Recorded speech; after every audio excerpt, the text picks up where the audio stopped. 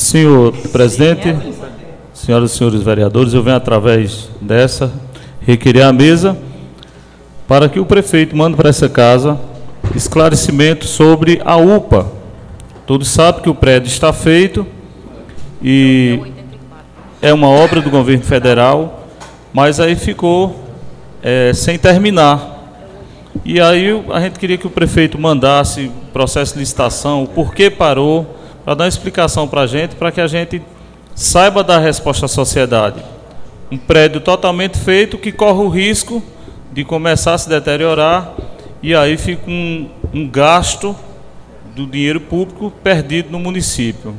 Como dizia os antigos jornais, fica um elefante branco no município. E a gente é interessante ter uma explicação para essa casa. Obrigado, senhor presidente. Senhores vereadores. É, questão do Vossa Excelência. Vossa Excelência, só se for para Vossa Excelência que ele venha dar essa resposta. Porque até hoje eu estou esperando que ele me mande os documentos da compra do bairro São Geraldo e até hoje, que é daquele da, da creche, até hoje nada. Então Deus queira que seja atendido o pedido de Vossa Excelência. É, o, é, nobre vereador Maurício, ocorre o seguinte, ali é uma obra federal, não é municipal. Tem que ser observado esse aspecto. E é interessante que Vossa Excelência faça por escrito e traga para apreciação porque aí dá tempo Vossa Excelência analisar e ver se. Está escrito, está escrito, é porque está na mesa. Ah, está tá na mesa, né? Requerimento. Mas Vossa Excelência observou que é uma obra federal? Você vê, é porque tem a parceria do governo municipal que doou o terreno, né? E, e, e essas licitações, com certeza o município tem conhecimento, né? É interessante só passar para ver o que é que está emperrando o funcionamento. Vereador João Leocádio, tem a contrapartida do município. Certo, entendeu? Certo. E a administração é do município, não é do governo federal. Votação. Senhores vereadores, o presente projeto encontra em votação. Vereadores que forem a favor, fiquem sentados, que forem contra, fiquem de pé. Projeto não, requerimento. Aprovado à unanimidade. Vamos passar agora a justificativa oral do requerimento 085. Esse outro requerimento, como é, na sessão passada eu expliquei para vocês, vereadores, subsentido que quem mora fora passa no nosso município e a nossa BR totalmente escura, não tem iluminação, não tem um semblante de cidade, porque Trindade fica para dentro. Pensando nisso, já tem uns postos perto da BR, seria interessante o Poder Executivo analisar através desse requerimento, né, e colocasse luminárias, se possível, do trevo, está escrito também, do trevo da saída de Araripina até o posto Carvalho. Já tem umas áreas com pouca iluminação, mas se botar uma iluminária padrão, a cidade vai ficar mais bela para pessoas que passem e vai saber que está passando em Trindade. Obrigado, senhor presidente. É, o requerimento do vereador Maurício está em votação. Os vereadores forem a favor permaneçam sentados, que forem contra, fiquem de pé. Aprovado por unanimidade. Senhores vereadores, prezados ouvintes, foi um prazer tê-lo aqui conosco. Quero aqui agradecer a presença dos pastores, a pessoa Senhor presidente, do, do pastor Eronides. Tem mais um projeto, não? Primeira votação. Tem mais um. Pro... Vereador, esse projeto de você, é o projeto Vossa Excelência, né?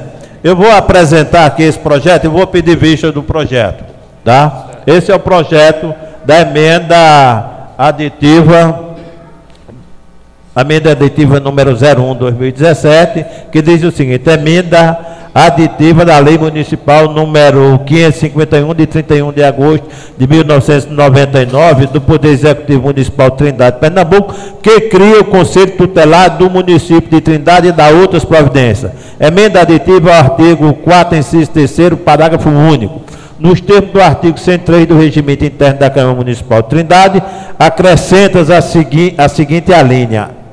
A, a, acrescenta a seguinte alínea. É a Lei Municipal número 551 de 8 de 1999, artigo 4 parágrafo 1.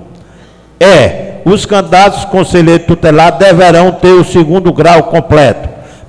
Plenário da Câmara Municipal de Trindade, Pernambuco, em 21 de novembro de 2017. Senhores vereadores, nós já temos a posta aqui. Uma, duas, três, quatro, cinco, Vossa seis, Excelência, sete, oito.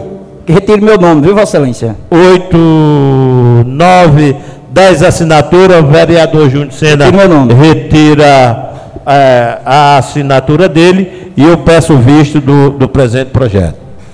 É, senhores, eu queria aqui agradecer a presença de todos os senhores, dos evangélicos, na pessoa do pastor Eronides, a, a agradecer aqui também a presença do nosso pároco, é, Padre Domingos, agradecer a todos vocês que estão presentes e quero dizer a vocês que esta casa tem debatido constantemente os assuntos do nosso município com todo fervor e dedicação. Infelizmente, se as coisas não acontecem, mas nós não somos os responsáveis por isso, porque nós buscamos que a coisa seja feita e que os andamentos sejam de maneira normal. É, obrigado a todos e convoco uma outra reunião para amanhã, uma reunião especial para apreciar as contas do prefeito do exercício de 2013.